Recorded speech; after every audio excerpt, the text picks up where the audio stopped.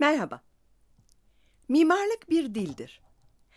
Bir dilde yeni bir kelime öğrenirsiniz de bir anda her yerde o kelime gözünüzün önüne gelir ya.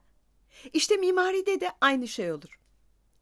Yeni bir mimari biçimle karşılaştığınızda her yerde onu görmeye başlarsınız. Özellikle klasik düzende bu çok meydana gelir. Çünkü bunlar Batı mimarisinin temelleri sayılır ve 2500 yıldır kullanılmaktadır. Bahsettiğim düzenler Yunanların tapınakları için oluşturdukları mimari biçimlerdir. Bu düzenleri günümüzde hala kullanıyoruz. Ekranın üst kısmında modern örnekleri yer alıyor. Ama unutmamalıyız ki bunlar eski, basit bir yapının biraz süslenmiş halinden ibaret. Sütun ve lentolu mimari veya kemersiz mimari adı verilen eski inşaat sistemini göstermek için Stonehenge'i inceleyeceğiz. Bu en temel, basit ve en eski mimari sistemlerden biridir. Dikey olanlarına sütun denir ve lento adındaki yatay taşlara destek sağlar. Bugün iki birim genişliğinde tahta çivilerken de bu basit sistemi kullanıyoruz. Çok daha karmaşık olsa da Yunanlar da benzer bir işlem yapıyordu. Yunanlar oldukça şık sistemler geliştirdi. Günümüzde bunları klasik düzenler adı altında inceliyoruz. Ve bunları Dorik, İyonik ve Korint düzeni olmak üzere üç gruba ayırmamız mümkün. Aslında birkaç tane daha var ama bugün onlardan bahsetmeyeceğim. Yine de sizin için buraya ekledik. İsimleri Toskana ve kompozit düzen. Evet, şimdi ekrandaki çizimde Dorik, İyonik ve Korint düzenleri yer alıyor. Soldaki Dorik, ortadakiler İyonik ve son ikisi de Korint düzenini gösteriyor. Bu üç düzenin çeşitli örnekleri bu resimde. İçlerinden en basitleri Dorik. İyonik düzeni biraz daha karma yapıdadır. Korint düzeni ise sanki kontrolden çıkmış gibi. Şimdi ilk olarak aralarındaki en eski düzen olan Dorik'i inceleyelim. Dorik'in 7. yüzyılda Yunanistan'da ortaya çıkmış olduğunu tahmin ediyoruz. Görüntüde İtalya'da yer alan bir Yunan tapınağı var. Bunun için klasik döneme ait en önemli Dorik eserlerden biri diyebiliriz. Evet, işe alındık dediğimiz üst kısımla başlayalım. Aslında alınlık düzenin gerçek bir parçası değil. Ama Yunanlar bunu tapınaklarına eklemiş. Pediment olarak da adlandırılan bu şekil, yukarıda gördüğümüz üçgen alandır. Bunlar kalkanlı çatılardır. Bazen içlerine heykeller yerleştirilirdi. Alınlığın altındaki bu yapı ise yine düzenin bir parçası olan saçaklık. Saçaklık da şuradan şuraya kadar olan yapı. Saçaklığın hemen üst kısmına ise friz denir. Yani şu gördüğümüz alan friz oluyor. Bu bölmenin tamamı. Dorik düzende frizin kendine has bir süslemesi var. Bu süslemede triglif ve metop kullanılır. Şimdi bakın, triglif kelimesinin etimolojisine bakacak olursak, trig önek oluyor. Yani anlamı da üçtür. Son ek glif de işaretlemek anlamına gelir. Sonuç olarak triglif, üç işaret anlamına gelmekte. Bakın friz boyunca uzanan üç işaretli triglifleri görebilirsiniz. Trigliflerin arasında ise metop denen boş alanlar var. Eski Yunan mimarisinde bu boş alanlar heykellerle doldurulurdu. Trigliflerin buraya öylesine yerleştirildiğini düşünmüyorum. Sanırım geçmişleri tapınakların tahtadan yapıldığı dönemlere kadar uzanıyor. Bunlar tapınağın içinde sütun görevi yapan kalasların uçlarıydı ve tabii sütunlar tarafından direkt destekleniyorlar. Zaten hemen hemen hepsinin sütunlarla aynı hizada olduğunu görebilirsiniz. Tapınağın alt kısımlarına doğru ilerlersek sırada başlık var. Bu da Dorik başlığı. Gayet sade. başlık çanağı ve sade bir tavan levhası var. Eski Roma mimarisi tarihçisi Vitruvius'a göre Dorik eski, yalın ve daha maskülen bir yapıyla ilişkilendirilmekte. Gayet geniş yapılı, oldukça ağır ve çok uzun değil. Evet, devam edecek olursak bizim sütun dediğimiz fakat sanat tarihçilerinin şaft adını verdikleri yapıya geliyoruz. Yakından bakarsak aslında o kadar sade olmadıklarını görebiliriz. Yiv olarak da bilinen yüzey boyunca dikey çizgileri var. Dorik düzende yiv çok sığ yapıda ve yüzeyden oyularak çıkarılmış bir deniz kabuğu gibidir. Yiv açma, şaft boyunca süslü dikey bir dekor oluşumunu sağlar. Dorik düzenin özelliklerinden biri de şaftın alt kısmında süslü bir ayağın bulunmamasıdır. Sütuna ait şaft doğruca tapınağın tabanına uzanır. Bunu sağ alt köşede belirgin bir şekilde görebilirsiniz. Burada geçiş için herhangi bir kalıplama yapılmamış. Şimdi bunların insan figürlerinde nasıl durduklarına bakalım. Başlıklar çok yüksek oldukları için yanlarında oturan bir insan göremeyiz. Ne kadar büyük olduklarını anlamamız için bu açıklama bile sanırım yeterli olur. British Museum'dayken başlığın yanında arkadaşımın şahane bir fotoğrafını çekmiştim. Dünyanın en meşhur Dorik tapınağının bulunduğu Atina'daki Akropolis'e ait bir başlıktı.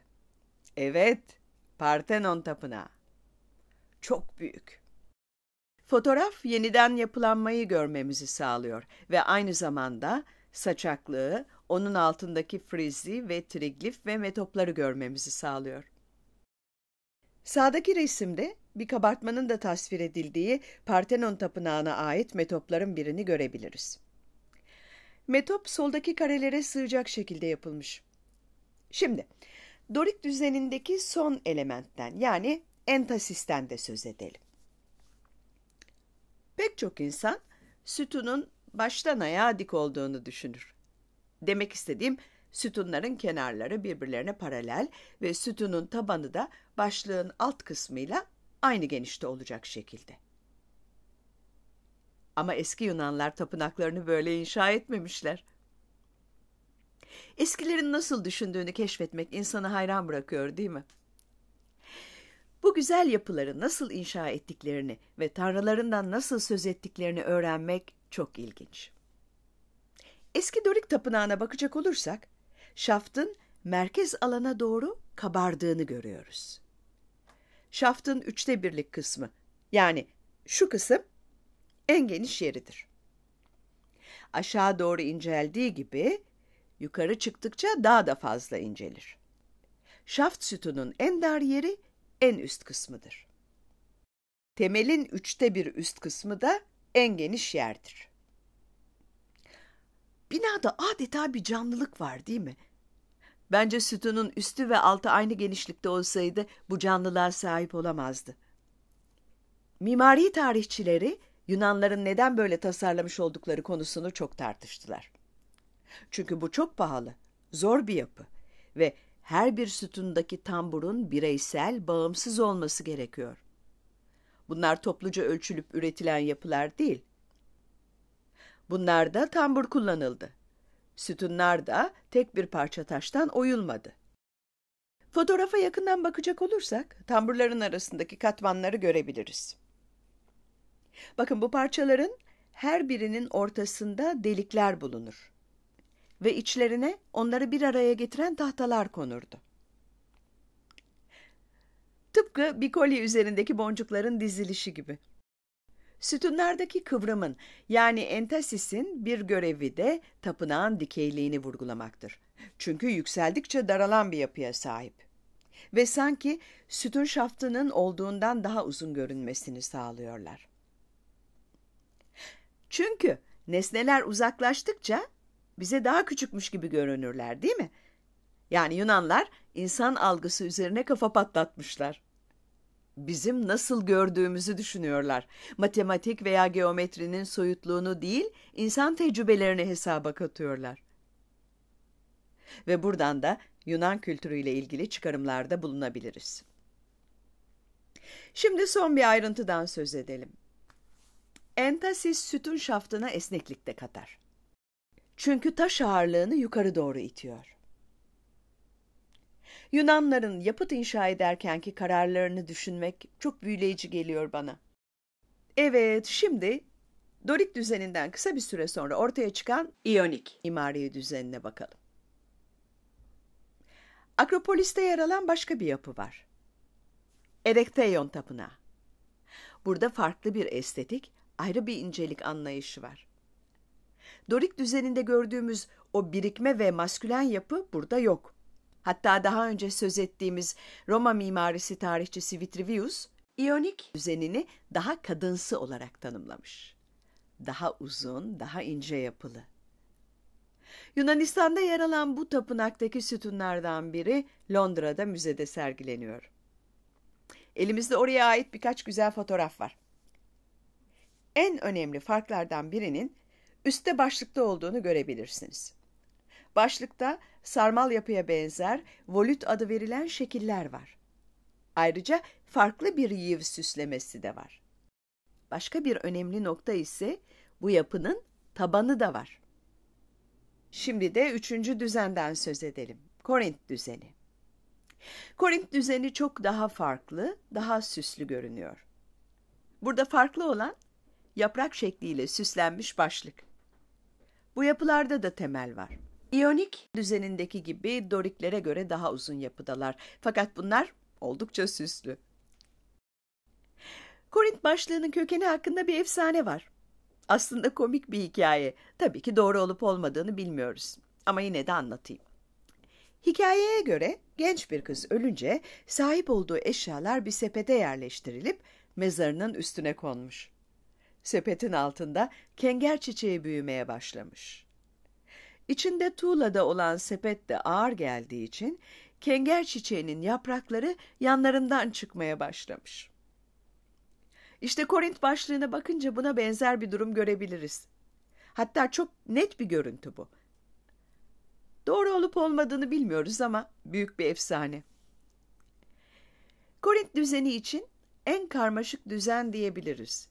İyonik düzeninden alışkın olduğumuz sarmal yapıdaki volütler var. Ayrıca çok karmaşık yaprağa benzer şekiller de var. Bunlar muhtemelen dediğimiz gibi kenger yapraklarıdır. Kenger yaprağını gösteren fotoğrafı ekranda görebilirsiniz. Kenger çiçeği çok hızlı büyüdüğü için mantıklı. Yalnız şunu unutmamalıyız. Eski Yunanlar her ne kadar üç düzen oluşturmuş olsalar da bu zaman zaman farklı formlara evrildi. Romalılar bunları kullandı. Klasik düzenleri araştıran insanlar da bunlardan yararlandılar. Günümüzde de bu hala devam etmektedir. Evet, sayısız eser incelediğimizde karşımıza Yunan mimarisinin izleri çıkar. Hoşçakalın.